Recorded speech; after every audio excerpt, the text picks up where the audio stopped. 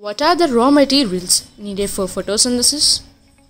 Raw materials of photosynthesis are carbon dioxide and water.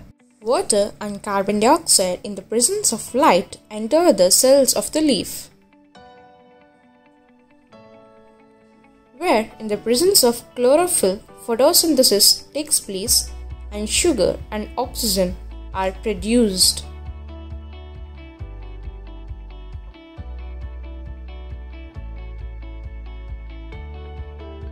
And the role of water in photosynthesis is first identified by Van Helmont through his willow plant experiment.